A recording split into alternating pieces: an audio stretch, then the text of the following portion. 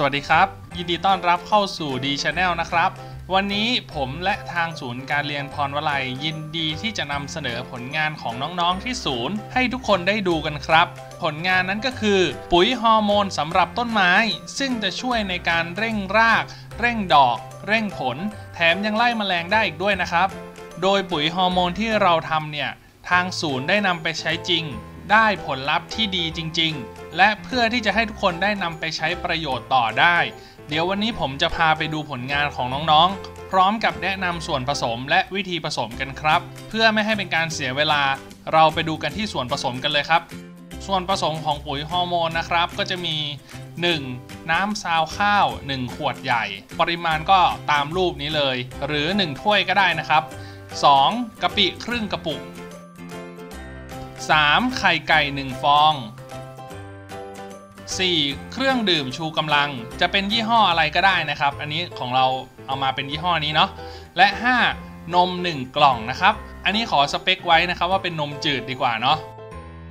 ครับผมเรามาดูกันที่วิธีผสมกันเลยนะครับ ขั้นตอนแรกคือตอกไข่ลงในถ้วย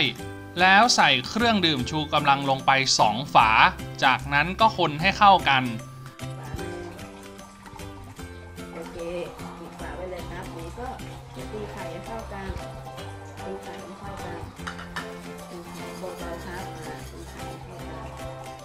โอเครับตีไข่เรื่อยตีไข่ให้เข้ากัน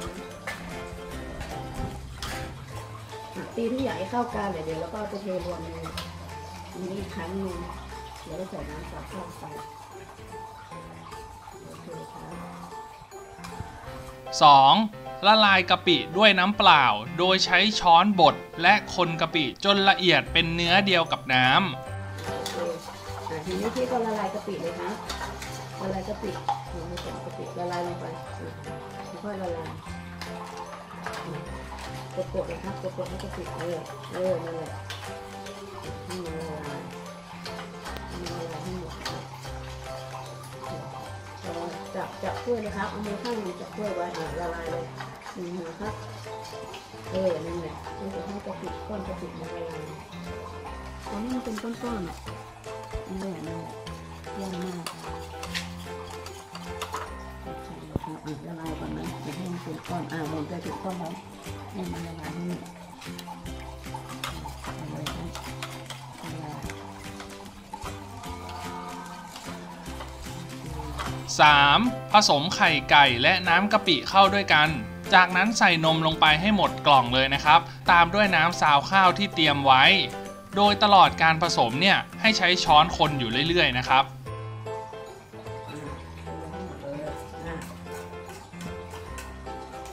แล้วก็เอาเทนมใส่ลงไปนะครับเทนมใส่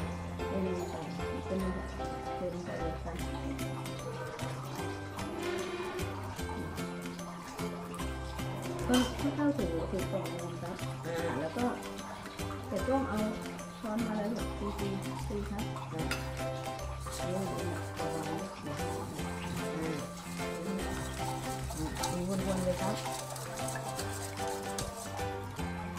ใส่เลยอะตีวนๆเลยให้มันเข้ากันทั้งนมทั้งนมไข่กะปิให้มันเข้ากันหมดเลยนะโอเคหมดแล้วครับ ต่อไปก็จะเป็นน้ำซาวข้าวนะลูกแล้วเทน้ำซาวข้าวใส่ไปนะน้ำซาวข้าวที่เกิดน้ำซาวข้าวอะนี่ใส่ลงไปเลยครับเออเทเลยอะต้องตีให้เข้ากันนะครับเทให้หมดเลยเทลงไปหมดเลยครับอืมเราจะได้สีเหลืองดีเลย เราจะใส่ต้นมะนาวเบาๆหน่อยนะคะ เดี๋ยวให้ดูครับโอเคได้เยี่ยมมากครับอืม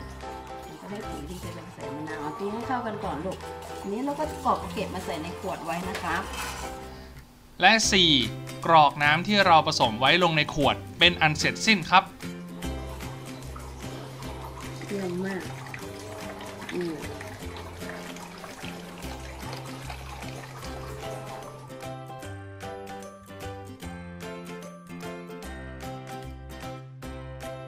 ชี้แจงนิดนึงนะครับ น้ำที่เราผสมเนี่ยจะเป็นหัวเชื้อของฮอร์โมนนะครับหากต้องการนำไปใช้จะต้องนำไปผสมน้ำเสียก่อนนะครับ ส่วนวิธีใช้เนี่ยสามารถนำไปรดน้ำได้โดยตรงเลยตามปกติเลย หรือจะเอาไปใส่ฟอกกี้เพื่อฉีดไปที่ใบก็ได้นะครับ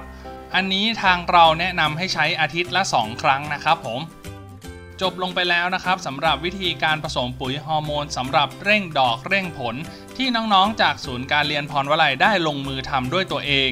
ผมหวังว่าคลิปนี้จะมีประโยชน์ต่อทุกคนนะครับ ถ้าใครชอบคลิปแบบนี้ก็ฝากกดไลค์กดแชร์ และกด Subscribe ที่ช่อง D Channel ของเราด้วยนะครับสำหรับวันนี้ผมขอตัวก่อน และเดี๋ยวเรามาเจอกันใหม่ในคลิปหน้า สวัสดีครับ